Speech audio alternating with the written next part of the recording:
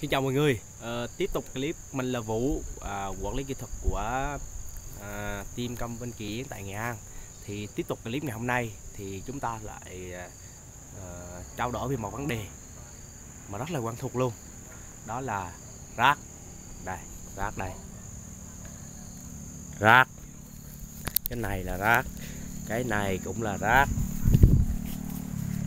Cái này cũng là rác và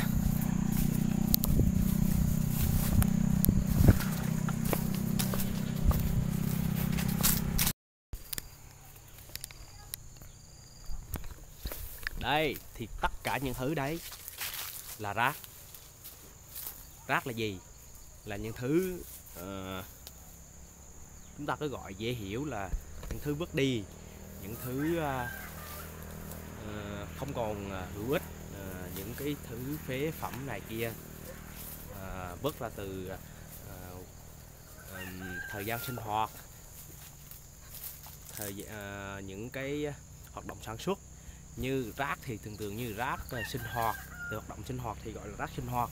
Rác từ uh, uh, hoạt động xây dựng thì gọi là rác xây dựng. Rác từ hoạt động công nghiệp thì gọi là rác công nghiệp. Thì đấy uhm, nhưng trong clip ngày hôm nay thì chúng ta chỉ nói đến vấn đề rác. Tại trong quá vì chúng ta là làm vườn nông dân nên hai cái loại rác mà thường xuyên dính đến, chúng ta nhiều nhất đấy là rác sinh hoạt và rác từ hoạt động sản, sản xuất uh, trong vườn. Thì ờ, rác từ sinh hoạt và rác từ hoạt động sản xuất trong vườn thì đó là những loại gì? Thì hai loại hai cái cái cái, cái thứ rác này thì quanh đi quẩn lại thì cũng khoảng đâu uh, thì khoảng đâu đó tầm uh, ra được khoảng bốn loại. Thì thứ nhất là rác hữu cơ thứ hai là rác uh, thải nhựa sinh hoạt để tái chế. Nếu mà có dùng thì tái chế nhé thứ ba là rác từ à, trong quá trình sử dụng thuốc bảo vệ thực vật các túi à, bảo vệ uh, hóa chất rồi thuốc trừ sâu. Thứ tư là rác uh, kim loại. Thì cái bốn loại này đấy thì nó có những đặc đặc đặc điểm, điểm sau. Loại thứ nhất đấy thì đó là những rác hữu cơ từ sinh hoạt thì rau củ quả thức ăn hàng ngày thừa mứa. Thì uh, nó nói chung là tất cả gì từ hữu cơ. Thì chúng ta cho đây rác hữu cơ. Còn từ vườn ấy mà rác hữu cơ đấy là những uh, cành đây. Cành lá chặt bỏ uh, những uh, cây cỏ trong vườn những vật liệu hữu cơ. Thì nằm chung vào rác hữu cơ. Thứ hai là những cái túi ni lông từ uh, hoạt động uh, đây những túi ni lông từ cái hoạt động uh, sinh hoạt bình thường. Thì đây. Thì cái loại này quá quen thuộc rồi. Thì những cái loại đấy là gọi là rác thải nhựa từ sinh hoạt. Còn loại thứ ba đấy thì trong nông nghiệp thì cái loại này là vấn đề khá nhức nhối đó là rác thải từ uh, dùng thuốc bảo vệ thực vật thuốc trừ sâu thuốc tăng trưởng kích thích tăng trưởng. Có nghĩa những cái loại thuốc mà những cái loại chai nhựa bao bì đựng loại đó thì hiện nay vẫn được chưa được quan tâm đúng cách là mọi người dùng xong vứt lung tung. Mà khi cái đó mà vứt lung tung ấy thì uh, nó sẽ ảnh hưởng đến nguồn nước như nguồn nước này, này như ảnh hưởng xuống xuống đất này này rồi cả người sử dụng nữa.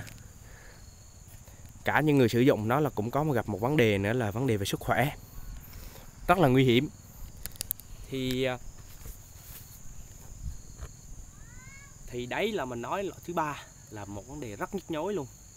Mà hiện nay gần như là trong chúng ta cũng chưa có giải pháp xử lý. Đa phần những người uh, có một vài hộ thì có thể họ có ý thức hơn này kia họ quan tâm hơn vấn đề này. Thì họ gom nó lại một chỗ sau đó họ gom họ đốt. Đó là gọi mình thấy là xử lý được nhất. Còn riêng vườn mình thì mình không có xài mấy loại đó nên là mình cũng không có rác thải loại đấy mình chỉ có ba loại loại hữu cơ loại rác thải nhựa loại thứ tư là những rác thải kim loại từ ờ, vật tư máy móc thiết bị những thứ gì trong vườn sản xuất mà nó bị hỏng thì mình gom lại. Ờ, thì cái loại thứ nhanh những bốn cái loại này thì có những cái tác dụng như sau.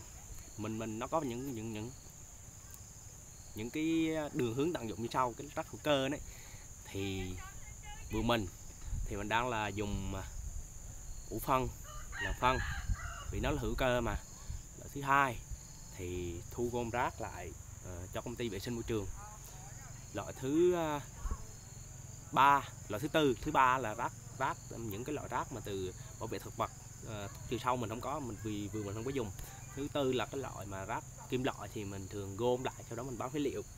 Thì ờm, thực ra cái vấn đề mà về rác này thì uh, cũng có nhiều chương trình rồi thực hiện phân loại rác từ nông thôn tới thành phố rồi. Ngay cả trong những những những ờ, những cái farm ờ, nông nghiệp mình luôn thì vẫn có thu những cái loại rác uh, chai nhựa uh, thuốc bảo vệ thực vật này kia những cái loại rác nguy hiểm độc. Thì uh, đâu đó vẫn chưa thấy cái nào chương trình nào thực sự hiệu quả hết bởi vì gom xong lại xong phân loại nhà. Ra chỗ rác họ gom họ đổ chung và lại. Thì cũng như không mà. Nên là cái vấn đề rất rất là nhức nhối. Cái này vấn đề không phải riêng của Việt Nam mà là gần như toàn thế giới nó vậy luôn. Thì thì uh, trong cái giới hạn clip hôm nay thì mình có chia sẻ những cái cách làm của mình hiện tại tại vườn và những cái loại rác nào mình đang có và mình xử lý thế nào. Thì mình nói sơ qua đấy cho mọi người biết về cái cái cách làm của mình hiện tại. Thì nếu mọi người mà thấy clip này hay hay là có ý kiến gì, những gì trao đổi, thì mọi người có thể bình luận dưới video này. Mình có thể à, đọc sau đó phản hồi, có thể rằng trả lời hoặc là làm video hướng dẫn mọi người hoặc là giải đáp thắc mắc cho mọi người. Thì à, cảm ơn mọi người đã xem hết video của mình. Thì à, xin chào và hẹn gặp lại nhé